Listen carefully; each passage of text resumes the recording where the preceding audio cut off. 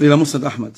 قال المصنف رحمه الله تعالى حدثنا عبد الرزاق حدثنا معمر حدثنا الزهري عن سالم سالم بن عبد الله عن ابن عمر رضي الله عنه وارضاه أنه قال لعمر إني إني أنه قال لعمر إني سمعت الناس يقولون مقالة فآليت أن أقولها لك زعموا أنك غير مستخلف.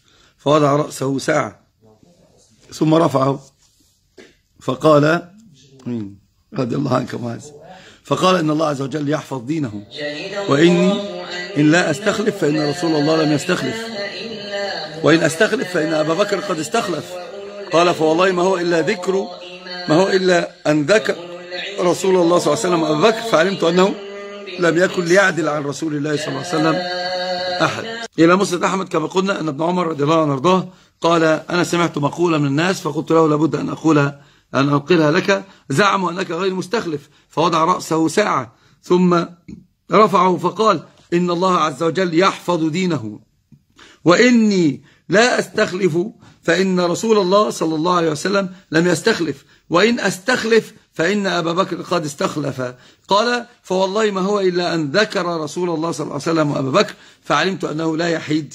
لم يكن يعدل برسول الله أحدا أو أنه غير مستخلف. وهذه الحقيقة والنبي صلى الله عليه وسلم لم يستخلف لكنه أشار وعمر أشار. بل كانت إشارة عمر أصرح من إشارة النبي. النبي صلى الله عليه وسلم قال آه، قال ائتوني بكتاب أكتب لكم. لا يقول قائل أنا أحق بها من أبي بكر. فقال لا يأبى الله يأبى المؤمنون إلا, إلا أبا بكر. وهذه فيها إشارة مروا أبا بكر فليصلي بالناس. فأقول إخوتي الكرام عمر قال الأمر بين يدي الستة. هؤلاء الستة الذين مات النبي وهو راض وهو راض عنه. وذكر بأن أبا بكر لم يستخلف فأن أبا بكر استخلف بالنص واحدا. فهو أتى, أتى كأنه بينهما. المسألة كانت كانت في هذا الباب إشارة من النبي وفيها تصريح من أبي بكر جاء عمر فمزجها كان فيها الإشارة وكانت على عدد معين. رضي الله عنك أجل أحسن الله عليكم. الله يرضى عنكم جميعا ويحفظكم جميعا. اللهم أمين. فقال لم يكن ليعدل برسول الله أحدا. وانظروا كيف حبهم للنبي وشدة التحري في التأسي برسول الله ذلك لم يسمي. وقال المصنف رحمه الله تعالى حدثنا عبد الرزاق حدثنا معمر عن الزهري عن مالك ابن أوس ابن الحدثان قال أرسل إلي عمر فذكر الحديث فقلت لكما إن رسول الله صلى الله عليه وسلم قال لا نورث لكما للعباس والعلي بن أبي طالب. وسبق شرحناه هذا. لا نورث ما تركنا صدقة.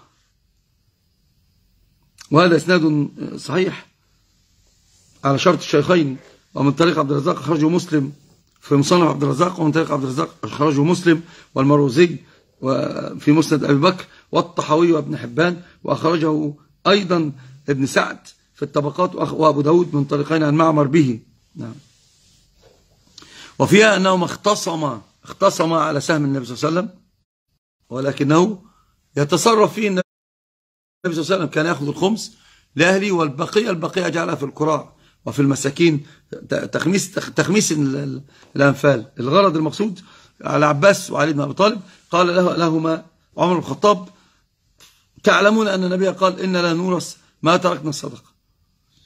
فعمل به النبي صلى الله عليه وسلم. ثم عمل به أيضا أبو بكر وعمل به فعمل به أبو بكر. فإن أردتم أن تعمل به كما عمل به النبي صلى الله عليه وسلم. عمل به أبو بكر وأنا صدرا من خلفاتي عملت به يعني بذلك. فإن تفعلوا بذلك فهو لكم. وإلا, وإلا اتركوه أنا أحمله عنكم. لكن الشاهد قال لهم قال لا نورث ما تركنا صدقة. لا نورث ما تركنا صدقة. يعني ما فيش مر إرث. النبي فيه كفاية الأهل ثم بعد ذلك الصدقة. هنا عمر بن الخطاب رضي الله عنه قال للعباسي والعلي لأنهم اختصما عنده فقال قال لا نورث ما تركنا صدقة لا نورث ما تركنا صدقة. وقال حدثنا وقال مصنف حدثنا عبد الرزاق حدثنا معمر حدثنا عن الزهري عن ابن المسيب قال لما مات أبو بكر بكى أو بكي عليه. فقال عمر إن رسول الله صلى الله عليه وسلم قال إن الميت يعذب ببكاء أهله عليه يعذب ببكاء الحي عليه. وهذا إسناد صحيح. رجال رجال ثقات رجال الشيخين كما كما سبق كثيرا شرحناه. وقلنا هنا أنه في قول أن الميت يعذب ببكاء الحي يعني يعذب ببكاء الحي إن ارتضى ببكائه أو كان البكاء فيه النوح.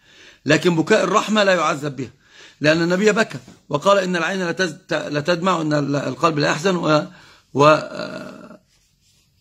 ولا نقول إلا, إلا ما يرضي ربنا وإن لفراقك يا يا إبراهيم لمحزون. ولما دخل عبد الرحمن عوف قال أنت تبكي؟ أنت رسول الله وتبكي؟ قال نعم إنما هي رحمة إنما هي رحمة وإنما يرحم الله من عباده العلماء الرحماء. الفوائد المستنبطة ملاذ الاختلافات السنة. قال تفعلون بها ما فعل بها رسول الله وفعل بها أبو بكر وفعلت بها. وذكر الحديث لا نورث ما تركنا صدقة من تسبب في شيء حوسب عليه.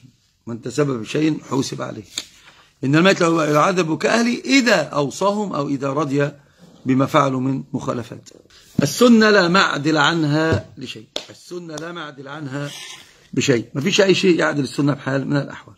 يا طالب العلم قم لا تنم فإن الزمان أيا طالب العلم قم لا تنم فإن الزمان انقضى وانصرم. فكن ما حييت ضنينا به فظنك بالوقت عين الكرم. وكن حلس درسك وافرح به. تكن قائدا في غد للأمم وبادر شبابك من قبل أن يقطع عزمك سيف الهرم. ودع ما استطعت فضول اختلاط وأكل ونوم وقول يذم. وصاحب نبيلا ولا تكثرن فكم مكثر يا أخي حرم؟ وحقق إذا رمت شيئا ولا تسمن بوهمك ذات الورم. رأيت العلوم وأصحابها لدى كل ذي فطرة تحترم. فإن رمت يا صاحبي رفعة بدنيا وأخرى فلذ بالقلم وأخلص لربك واعمل بما علمت وإن تلقى فيه الألم. وصابر وثابر ولا تكسلا فإن الهموم بقدر الهمم. فإن الهموم بقدر الهمم. الإمام